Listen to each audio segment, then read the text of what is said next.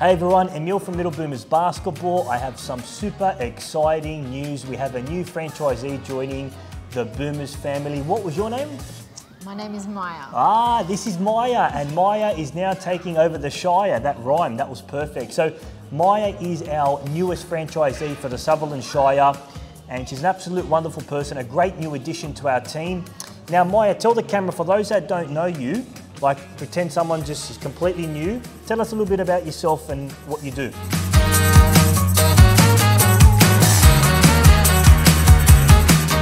So I'm a mama of three. Um, my job is uh, I work with children and I'm a teacher's aide. Um, I assist in class and help any of the children that need it. So yeah. Good. Now, Maya, tell me, you're a primary school teacher. Is this primary school or high school?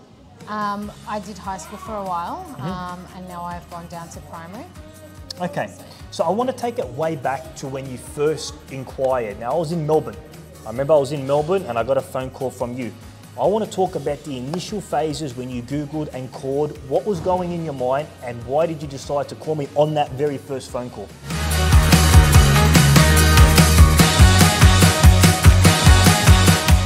I wanted to make a change, really. I love kids and I want to give kids the opportunity to go out and have some fun, get active. Um, I, like I said, I'm a mum of three and I know all too well how easy it is for kids just to be complacent in front of the TV, in front of the iPads and stuff. So um, sport really got me. And then 100%. basketball. It's not one that I saw very often. And I thought, I love basketball. My husband's a massive fan of basketball, which Yeah. helps. Um, and so, yeah. Okay, so I want to talk, you said a key word there, change. What exactly was it that you wanted to change at that time when you inquired and called to me?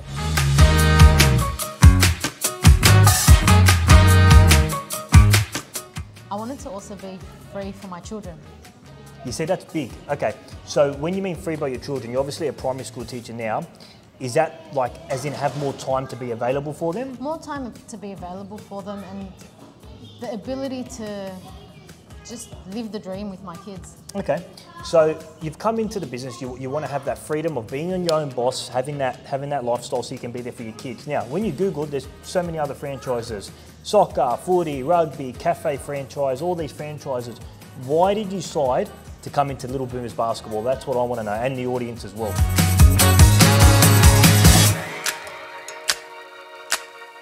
Well, like I said, basketball has been a passion, and my husband drove that passion in us. Um, and there's a lot of soccer, and there is a like it's easy to access. And I thought, what about the kids that aren't good at soccer or aren't good at football? The fact that we've given them a brand new thing for them to do and try out is why we chose basketball. Okay, beautiful. So you've come in, you've called Little Boomers Basketball. You're, in, you're interested in, in a franchisee. Now, we obviously started our first term. How do you feel from the point of the first phone call to your first launch? How was that process? That that whole process from that first phone call you inquired to you actually launching your first term, term one, 6th of February. How was that transition for you? How did you find it?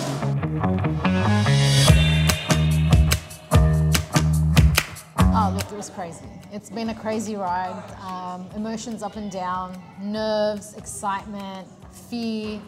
Been through it all, but um, I think the reason why we took the plunge and continued with everything was the excitement was a lot more than any of the issues of being, you know, fearful or nervous. 100%. Yeah, the excitement took over. And you told me once, and I'm going to paraphrase this, you told me if I was right or wrong. You said something along the line, I'm coming in and I trust, I feel like there's. Can you elaborate there? When you spoke to me, you said you said something along the lines of I trust or I feel like I'm coming in and you. What, what do you mean? What, what can you tell the audience about that?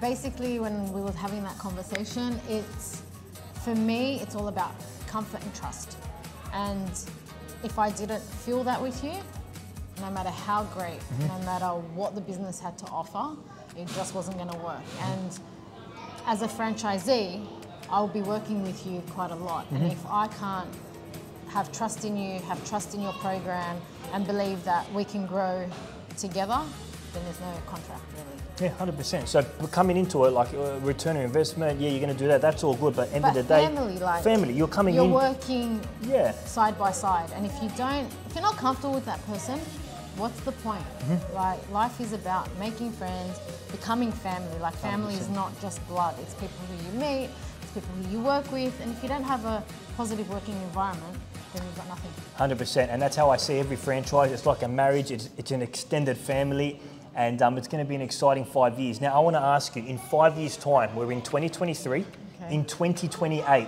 at the end of the five years, I'm a visionary. I like to look ahead of things. Where do you see your business in the Sutherland Shire? Not just oh, I want big like numbers. Where do you see yourself? It's 2028. Where is your franchise? Where is your business? What's it doing?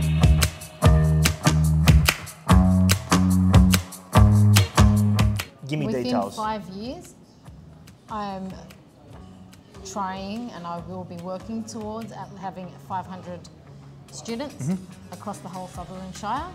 Um, every year, grow it up a step, make sure that we have the numbers of coaches to Yep. make sure our classes stay nice and small. Mm-hmm. What we offer doesn't change. That's important to me. I'm not about, okay, growth and something falling and lacking. Quality in, dropping, yeah. 100%, So, um, in five years' time, yes, I would love to be sitting at the Bahamas having a. iced Well, we all- no, I'll join um, ya. no, so for me in five years, um, do I want financial freedom? Mm-hmm. I think everyone Of course. would want that. But it's just to see the smiles on these kids and to know that we're helping them and making a difference and giving them a positive um, outcome from what they do with us. Can I ask you a question? You mentioned financial freedom. What does financial freedom look to you?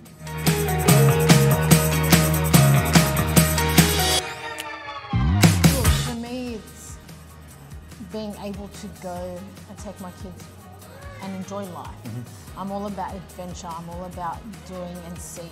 For me, it's the ability to say, "Hey, let's go to New Yeah, Zealand." 100%. You know, it's for me, it's the adventure. I'm not materialistic. Mm-hmm. Um, that doesn't mean anything to me. Mm-hmm. So for you, it's more so having that freedom where if you want to go on a For holiday to the kids, you don't have to put four months in advance Yeah. work. Just we like can't for do my this. family. Yeah. Anything that makes family time easier. Good. Last question, and it's probably the hardest question. So take a deep breath in and out. So a lot of people, I, I want you to pretend that there's someone there and they, they're interested in franchising, but they're hesitant because they're worried. They, th there's fear. They, they just they, they're worried about taking that next step for whatever reason. Now that was you before. It's now not you anymore because you made the lump, you made the plunge. What would you say to those people that are in the chair? They want to get up and make a difference. They want to be their own boss, but fear is holding them back. What words of advice would you give to someone in that To position? honest with you. I think the only words I can give them is trust your heart. Mm-hmm.